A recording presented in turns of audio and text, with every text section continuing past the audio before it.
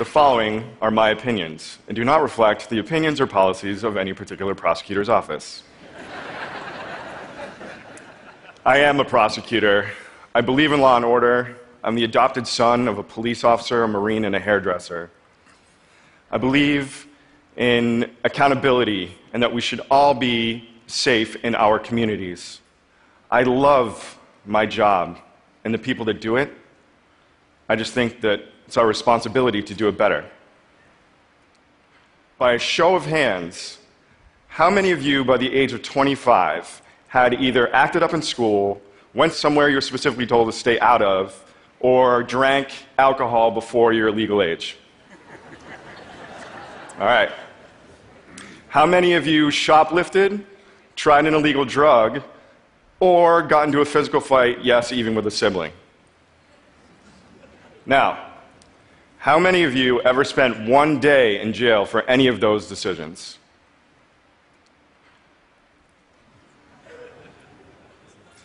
How many of you sitting here today think that you are a danger to society or should be defined by those actions of youthful indiscretion?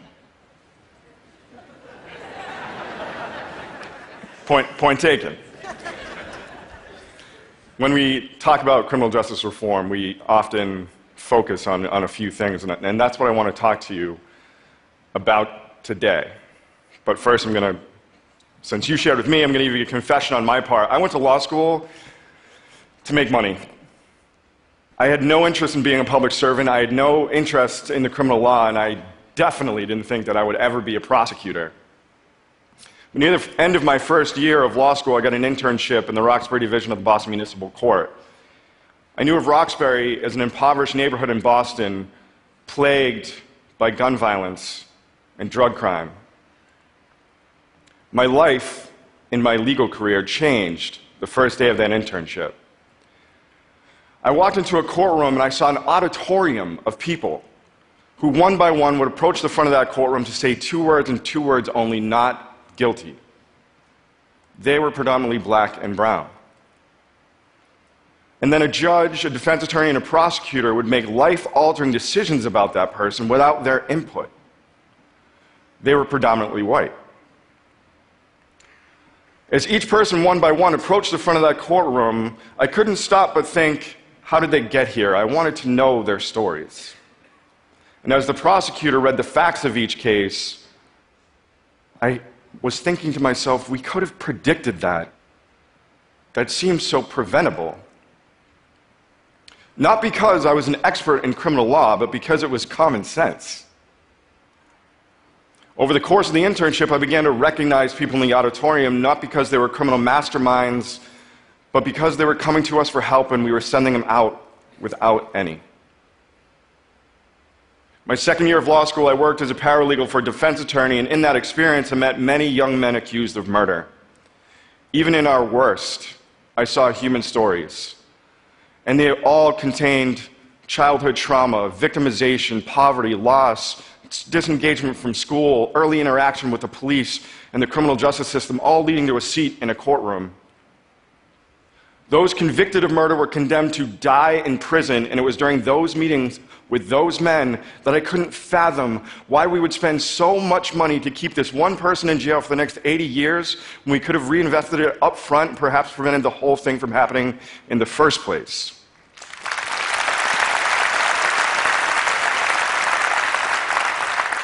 My third year of law school, I defended people accused of small street crimes, mostly mentally ill, mostly homeless, mostly drug addicted, all in need of help. They would come to us, and we would send them away without that help. They were in need of our assistance, but we weren't giving them any. Prosecuted, adjudged, and defended by people who knew nothing about them. The staggering inefficiency is what drove me to criminal justice work. The unfairness of it all made me want to be a defender. The power dynamic that I came to understand made me become a prosecutor. I don't want to spend a lot of time talking about the problem. We know that the criminal justice system needs reform. We know that there are 2.3 million people in American jails and prisons, making us the most incarcerated nation on the planet. We know that there's another 7 million people on probation or parole. We know that the criminal justice system disproportionately affects people of color, particularly poor people of color. And we know that there are system failures happening everywhere that bring people to our courtrooms, but what we do not discuss is how ill equipped our prosecutors are to receive them. When we talk about criminal justice reform, we as a society focus on three things. We complain, we tweet, we protest about the police, about sentencing laws, and about prison we rarely, if ever, talk about the prosecutor. In the fall of 2009, a young man was arrested by the Boston Police Department. He was 18 years old, he was African American, and he was a senior at a local public school. He had his sights set on college, but his part time, minimum wage job wasn't providing the financial opportunity he needed to enroll in school. In a series of bad decisions, he stole 30 laptops from the store and sold them on the internet.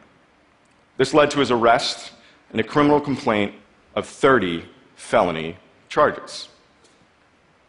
The potential jail time he faced is what stressed Christopher out the most, but what he had little understanding of was the impact a criminal record would have on his future. I was standing in arraignments that day when Christopher's case came across my desk, and at the risk of sounding dramatic in that moment, I had Christopher's life in my hands. I was 29 years old, a brand new prosecutor, and I had little appreciation for the decisions that I would make would impact Christopher's life. Christopher's case was a serious one and needed to be dealt with as such, but I didn't think that branding him a felon for the rest of his life was the right answer. For the most part, prosecutors step onto the job with little appreciation of the impact of our decisions, regardless of our intent. Despite our broad discretion, we learn to avoid risk at all costs rendering our discretion basically useless. History has conditioned us to believe that somehow the criminal justice system brings about accountability and improves public safety despite evidence to the contrary. We're judged internally and externally by our convictions and our trial wins, so prosecutors aren't really incentivized to be creative in our case positions, dispositions, or to take risks on people we might not otherwise. We stick to an outdated method, counterproductive to achieving the very goal that we all want, and that's safer communities. Yet most prosecutors standing in my space would have arraigned Christopher. They have little appreciation for what we can do. Arraigning Christopher would give him a criminal record, making it harder for him to get a job, setting in motion a cycle that defines the failing criminal justice system today. With a criminal record and without a job, Christopher would be able, unable to find employment, education, or stable housing. Without those protective factors in his life, Christopher would be more likely to commit further, more serious crime. The more contact Christopher had with the criminal justice system, the more likely it would be that he would return again and again and again, all at tremendous social cost to his children, to his family, and to his peers. And, ladies and gentlemen, it is a terrible public safety outcome for the rest of us. When I came out of law school, I did the same thing as everybody else. I came out as a prosecutor, expected to do justice, but I never learned what justice was in my classes. None of us do. None of us do. And yet, prosecutors are the most powerful actors in the criminal justice system. Our power is virtually boundless. In most cases, not the judge, not the police, not the legislature, not the mayor, not the governor, not the president can tell us how to prosecute our cases. The decision to arraign Christopher and give him a, criminal record was exclusively mine. I would choose whether to prosecute him for 30 felonies, for one felony, for a misdemeanor, or at all. I would choose whether to leverage Christopher into a plea deal or to take the case to trial, and ultimately, I'd be in a position to ask for Christopher to go to jail. These are decisions that prosecutors make every day, unfettered, and we are unaware and untrained of the grave consequences of those decisions. One night this past summer, I was at a, a small gathering of professional men of color from around the city, and as I stood there stuffing free finger sandwiches into my mouth, as you do as a public servant, I noticed across the room a young man waving and smiling at me and approaching me. And I, I recognized him, but I, I couldn't place from where. And before I knew it, this young man was hugging me and thanking me. You cared about me and you changed my life. It was Christopher. See, I never arraigned Christopher. He never faced a judge or a jail. He never had a criminal record. Instead, I worked with Christopher, first on being accountable for his actions, and then putting him in a position where he wouldn't reoffend.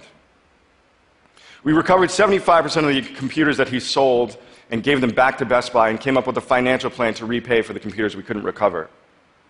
Christopher did community service. He wrote an essay reflecting on how this case could impact his future and that of the community. He applied to college, he obtained financial aid, and he went on to graduate from a four year school. After we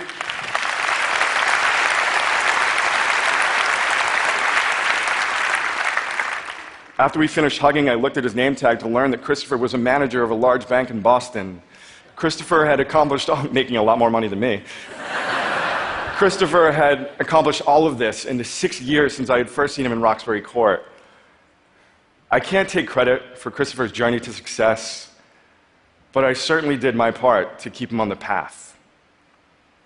There are thousands of Christophers out there some locked in our jails and prisons. We need thousands of prosecutors to recognize that and to protect them.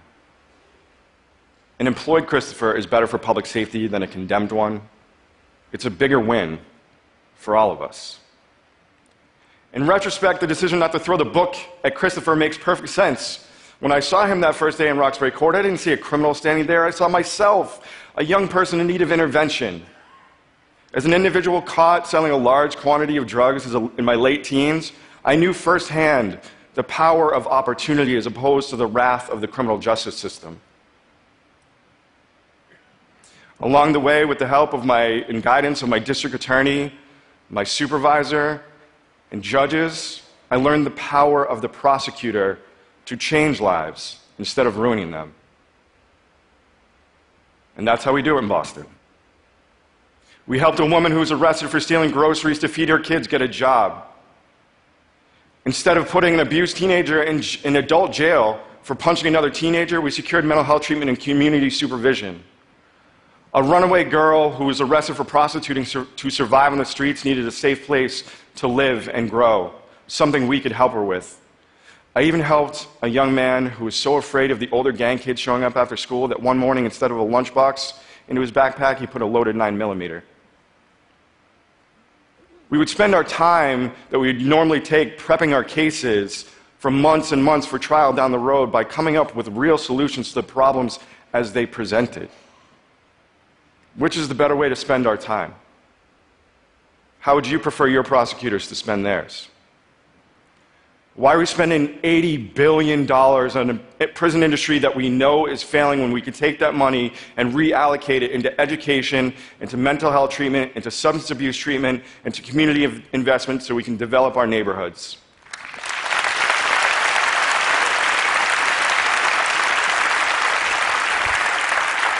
So, why should this matter to you? Well, one, we're spending a lot of money, our money. It costs $109,000 in some states to lock up a teenager for a year with a 60% chance that that person will return to the very same system. That is a terrible return on investment. Number two, it's the right thing to do. If prosecutors were a part of creating the problem, it's incumbent on us to cr- create a solution, and we can do that using other disciplines that have already done the data and research for us. And number three, your voice and your vote can make that happen. The next time there's a local district attorney's election in your jurisdiction, ask the candidates these questions. One, what are you doing to make me and my neighbors safer? Two, what data are you collecting and what are you training your prosecutors to make sure that it's working? And number three, if it's not working for everybody, what are you doing to fix it? If they can't answer the questions, they shouldn't be doing the job.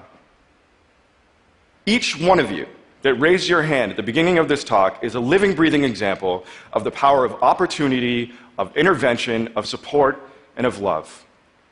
While each of you may have faced your own brand of discipline for whatever malfeasances you committed, barely any of you needed a day in jail to make you the people that you are today, some of the greatest minds on the planet. Every day, thousands of times a day, prosecutors around the United States wield power so great that it can bring about catastrophe as quickly as it can bring about opportunity intervention, support, and yes, even love. Those qualities are the, strong, the hallmarks of a strong community, and a strong community is a safe one. If our communities are broken, don't let the lawyers that you elect fix them with outdated, inefficient, expensive methods. Demand more. Vote for the prosecutor that is helping people stay out of jail, not putting them in. Demand better. You deserve it. Your children deserve it. The people who are tied up in the system deserve it. But most of all, the people that we are sworn to protect and do justice for demand it. We must, we must do better. Thank you.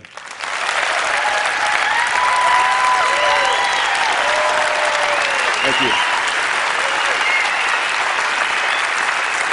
Thank you very much.